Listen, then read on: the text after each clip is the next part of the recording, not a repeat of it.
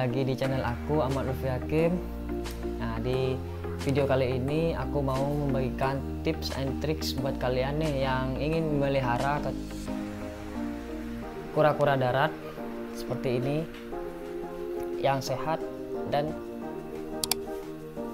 tentunya tidak sakit ya temennya.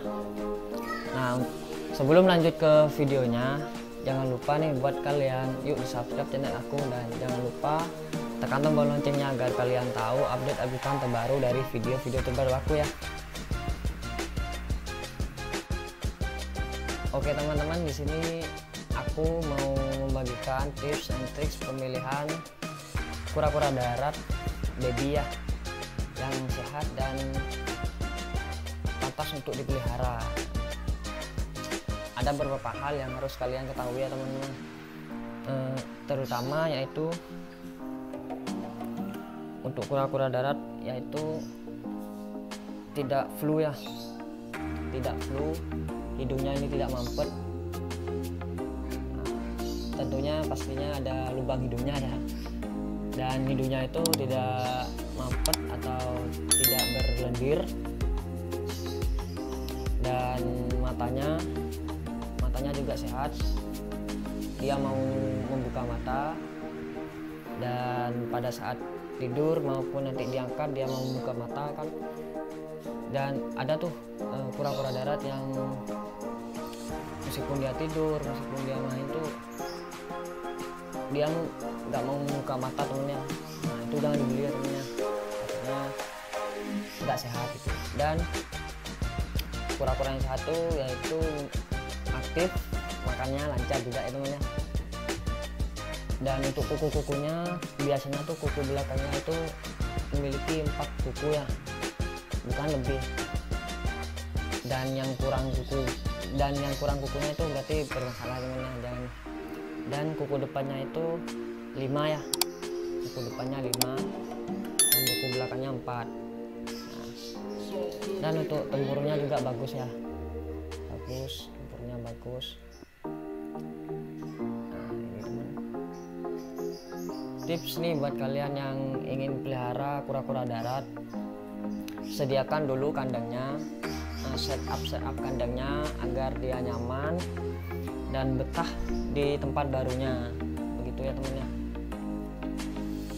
dan kebetulan ini kura-kura jenis pardalis ya yang udah sekitar 15 atau 16 cm bukan baby lagi. Untuk baby biasanya uh, nominal yang dijual tuh biasanya sekitar 5 sampai 5,5 cm.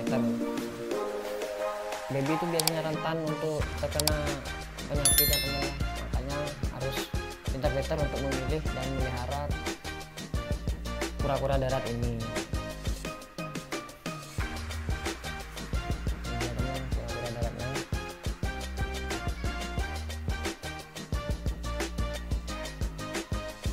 Ingat ya eh, yang pertama adalah yang kalian lihat pastinya hidungnya. Hidungnya ada dua ya. Dan hidungnya itu nggak berlendir atau nggak tertutup, nggak tertutup dengan cairan. Kalau tertutup dengan lendir atau cairan itu menandakan kura-kura ini flu dan tidak sehat teman. Dan yang kedua yaitu kelopak mata. Kelopak mata yang sehat adalah kelopak mata yang selalu mata di saat nah seperti ini ya nah ini sehat dan mulut yang tidak ada kerak-kerak seperti sisa-sisa makanan itu dan lagi kuku-kukunya bersih. Yang depan kuku itu ada lima kuku dan yang belakang itu ada empat kuku. Seperti itu ya teman-teman oke teman-teman buat pakan dari kura-kura darat ini biasanya itu berupa sayuran eh, pelet. Tapi aku lebih sering dia kasih sayuran temennya yaitu timun dia mau.